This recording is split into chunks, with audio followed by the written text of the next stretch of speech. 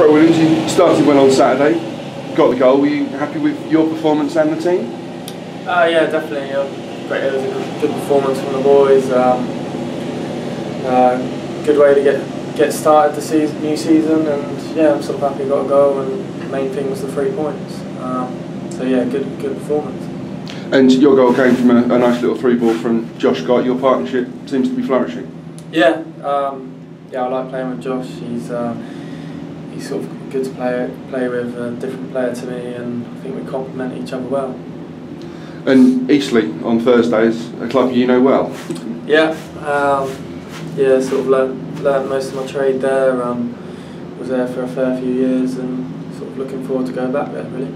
Have you still got some friends there, people that you that you know? Yeah, uh, yeah, I've got I've got one one mate um, I'm sort of fairly close with, and I know know quite a few of their boys. So um, yeah, looking forward to it. And they've made great strides on and off the pitch in recent years. Their ambitions are newly promoted sides, normally just looking to consolidate, but I think they're looking higher than that. Yeah, um, I think a lot of money's been sort of put into the club to sort of try and get as high as possible, maybe, maybe even Football League. And think they might have a chance this season. Um, they have got some good players, and yeah, I think if they go right go about it the right way, they, they should have a chance. Mm. They've got their, their own striking firepower, the likes of Midson, Constable, Fleetwood, but Aldershot on their day, just as dangerous.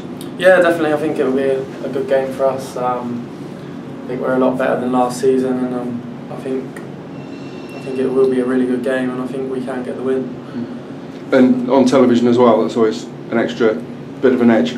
Yeah, um, on BT Sport, um, sort of a lot, of, lot of other people will be watching, and it does give that sort of extra bit of pressure. But um, yeah, so it's always a good thing. It'll sort of up the game a bit, mm. and um, everyone will be trying to impress. Yeah. But during the game, you say you think about it before the game, but during the 90 minutes, are you aware that there is a, a wider audience than usual, or is it just focus on what you're doing?